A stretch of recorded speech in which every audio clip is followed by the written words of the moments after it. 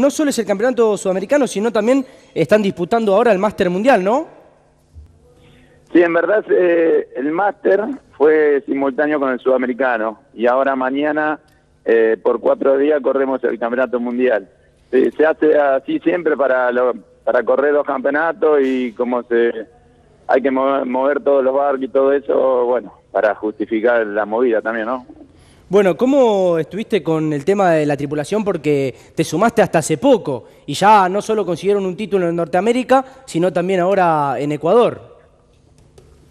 Sí, bueno, yo me sumé a mediados de año y bueno, Javier y Paula estaban buscando un medio y yo había dejado un poquito el laser de lado, así que bueno, eh, nos, llevamos bien, nos comunicamos y logramos formar este equipo que la verdad que es muy bueno, funcionamos muy bien y, nada, la verdad que de a poquito le estamos agarrando muy bien la mano al barco y nada, y se nota la, la diferencia, ¿no?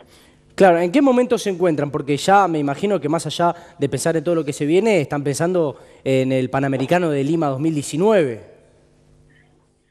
Sí, sí, sí, con ese objetivo eh, buscar una medalla ahí en Lima y bueno, y ayer también ganamos la plaza para, para los Juegos Panamericanos, así que doblemente eh, doblemente el, logro, ¿no? Del título y bueno, y la plaza, que somos los primeros en ganarla.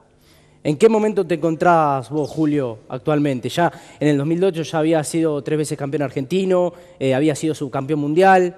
¿Cómo te encontrás ahora?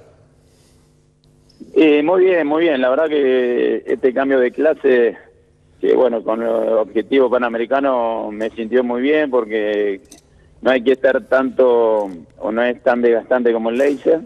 Y bueno, lo llevamos, la verdad que con, con los dos los dos chicos que estoy la pasamos muy bien y eso también es muy lindo, ¿no? Compartir las cosas, los viajes y las navegadas. Eh, Julio, Luciano Zafiro te saluda. Hemos hablado en reiteradas oportunidades en los últimos días nuevamente por un conflicto que se ha desatado. Y yo pensaba a medida que ibas relatando y hablábamos ayer en la obtención de, este título y la clasificación a los Juegos Panamericanos, el conflicto del ENAR, ¿no? Y, todo lo que allí se abre como incertidumbre, como duda, como búsqueda. Eh, ¿Cómo te ha repercutido y cómo lo has trabajado al mismo tiempo que tenías que competir y buscar lo mejor en esta flota? Bueno, ahí el conflicto, eh, nada, no, nos toca todavía de lleno, pero la verdad el ENAR tendría que seguir eh, siendo como es, digamos, no tendría que cambiar porque funciona realmente muy bien. Eh, fue un cambio, digamos, nunca visto para el deporte nacional, así que nada, tendría que seguir como está, sin que tenga, viste, el 1% de los celulares, que vaya derecho es mm. fundamental. ¿Qué, te cambió en lo personal a vos? Eh, recuerdo alguna historia que, has contado, pero para aquel que no la conoce, para aquel que eh, no tiene tan a cotidiano, ¿cómo le va cambiando a un deportista esta influencia de la posibilidad de, tener una beca en lo personal? ¿En qué te ha diferenciado? Eh, yo también viví en la época de la Secretaría, vos, vos fíjate que sí. desde ahora, desde el 2011. Sí. Yo navego desde chiquito, tengo 37 años, imagínate pero bueno, la primera la primera campaña para mm, para Beijing fue fue vía la Secretaría de Deporte y nada, era un quilombo porque los expedientes, los pocos expedientes que te daban, te lo pagaban a dos años cuando salían y la verdad que así no se podía ni planificar ni entrenar, era muy desgastante el tema económico. Y eso la verdad que fue un cambio terrible para para estar concentrado, para trabajar tranquilo, eh, planificar bien, poder tener entrenadores y bueno, ahí se notó la, diferencia. Y en los últimos juegos se, se notó mucho el tema de la presencia argentina en un montón de deportes y en la cantidad de diplomas que sacamos.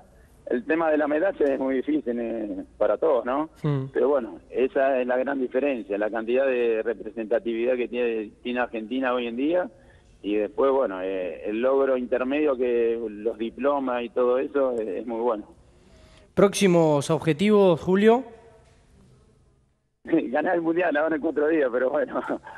¿De a poco? De a poco. No, no. Eh, yo creo que vamos a andar bien ahora para el Mundial, así que estamos muy concentrados y con muchas ganas. Ahora, ahora mismo estamos preparando el barco, lo estamos lustrando, puliendo, terminando de, alistar las últimas cositas para mañana, pero pero nada, estamos estamos muy bien, funcionamos muy bien y bueno, ahora ya conocemos bastante la cancha regata que, que bueno, para nuestro deporte es fundamental conocerla, ¿no?